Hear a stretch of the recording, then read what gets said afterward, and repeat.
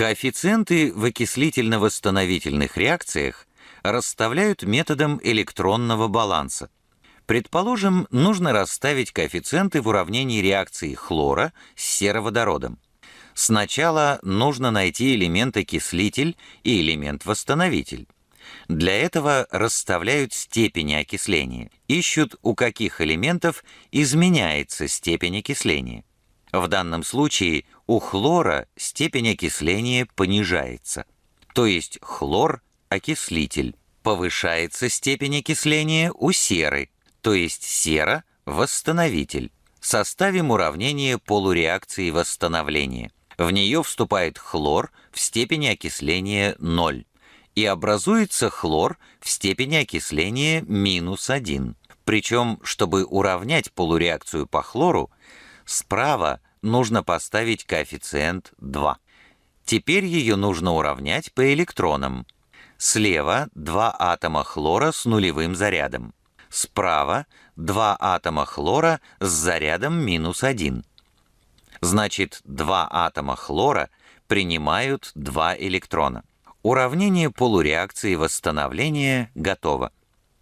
Теперь запишем уравнение полуреакции окисления, в которую вступает сера в степени окисления минус 2. Она окисляется до серы плюс 6. Чтобы превратиться из серы минус 2 в серу плюс 6, она должна отдать 8 электронов. Оба уравнения полуреакции составлены. Обратите внимание, в одной полуреакции электроны обязательно должны быть отданы, а в другой приняты. Теперь ключевой пункт для уравнивания. Количество отданных электронов должно быть равно количеству принятых. В первой полуреакции принято 2 электрона, во второй полуреакции отдано 8 электронов. Чтобы количество отданных электронов было равно количеству принятых, на одну нижнюю полуреакцию нужно 4 верхних полуреакции. То есть на одну молекулу сероводорода нужно 4 молекулы хлора. Поскольку перед хлором справа в первой полуреакции стоит коэффициент 2, а перед всей полуреакцией 4, то перед H-хлор справа в уравнении будет стоять коэффициент 8.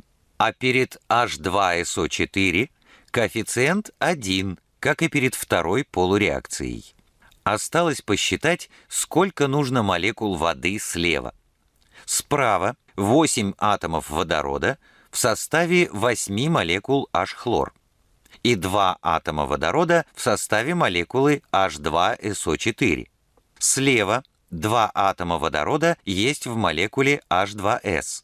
Итого 10 атомов водорода справа, 2 слева.